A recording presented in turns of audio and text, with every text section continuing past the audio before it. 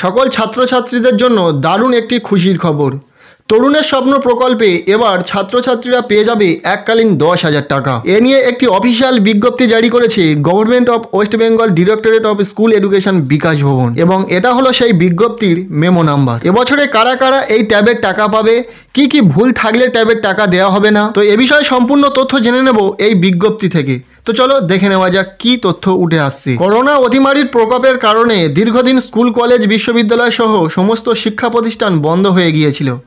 Online মাধ্যমেই সেই সময় পড়াশোনা চালিয়ে যাওয়ার একমাত্র পথ ছিল। সেই সময় সমস্ত স্তরের পড়ুয়াদের অনলাইন পদ্ধতিতে পড়াশোনা চালিয়ে যেতে হচ্ছিল। কিন্তু সেই সময় দেখা গিয়েছিল, প্রত্যন্ত গ্রামাঞ্চলের নিম্ন মধ্যবিত্ত, আর্থিকভাবে পিছিয়ে পড়া শ্রেণির পড়ুয়াদের কাছে মোবাইল বা ট্যাব কেনার মতো সামর্থ্য ছিল না। ফলে তাদের অনলাইনে পড়াশোনা করা সম্ভব হচ্ছিল না।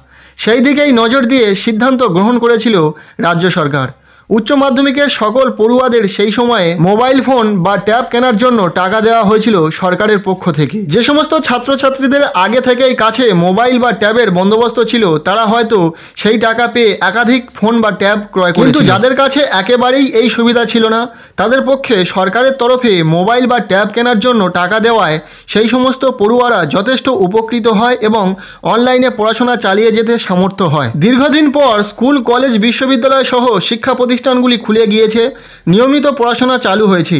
তবে এবারও রাজ্য সরকারের তরফে উচ্চ মাধ্যমিকের সকল পড়ুয়াদের ব্যাংক অ্যাকাউন্টে দশ হাজার টাকা ঢুকতে চলেছে বলে জানা গিয়েছে। পড়ুয়াদের মোবাইল ফোন বা ট্যাব কেনার জন্যই এই টাকা তাদের ব্যাংক অ্যাকাউন্টে দেওয়া হবে। এর আগে যখন সরকারের তরফে উচ্চ মাধ্যমিক পড়ুয়াদের মোবাইল ফোন বা ট্যাব কেনার জন্য দশ হাজার টাকা করে দেওয়ার সিদ্ধান্ত নেওয়া হয়, সেই সময় বহু ছাত্রছাত্রীদের ব্যাংক অ্যাকাউন্ট ছিল না। যদিও বা অনেকের অ্যাকাউন্ট ছিল, তবে তাদের বিভিন্ন ধরনের সমস্যা ছিল সেই অ্যাকাউন্টে। ফলে ওই সময় যথেষ্ট সমস্যা হয়েছিল। তাই এবারে বিকাশ ভবন থেকে নির্দেশ দেওয়া হয়েছে, উচ্চ মাধ্যমিকের সমস্ত ছাত্রছাত্রীদের ব্যাংক অ্যাকাউন্ট আপডেট করে রাখতে হবে এবং আগামী একত্রিশ জুলাইয়ের মধ্যে বিকাশ ভবনকে সমস্ত তথ্য সহ জমা দিতে হবে। তবে এখানেই একটি প্রশ্ন উঠেছে, করোনা পরিস্থিতি স্বাভাবিক হওয়ার পরে স্কুল, কলেজ, বিশ্ববিদ্যালয়ে নিয়মিত পঠন পাঠন শুরু হয়েছে, সমস্ত শিক্ষা প্রতিষ্ঠান খুলে দেওয়া হয়েছে। তাহলে এবারও কেন উচ্চ মাধ্যমিক পড়ুয়াদের জন্য মোবাইল ফোন বা ট্যাব কেনার টাকা দেওয়ার প্রয়োজন পড়ল? এই প্রশ্নের উত্তরে আরও একটি বিষয় উঠে আসছে সম্প্রতি করোনার সংক্রমণ ধীরে ধীরে বাড়তে শুরু করেছে।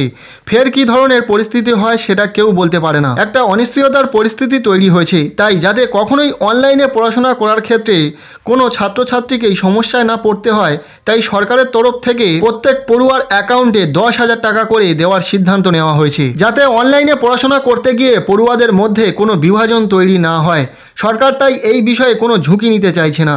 এবার সরকারের তরফ থেকে পড়ুয়াদের মোবাইল ফোন বা ট্যাব কেনার জন্য দশ হাজার টাকা করে দেওয়া হলে প্রায় আট লক্ষ পড়ুয়া উপকৃত হবেন। খুব শীঘ্রই এই টাকা ছাত্রছাত্রীদের অ্যাকাউন্টে ঢুকবে বলে জানা গিয়েছে।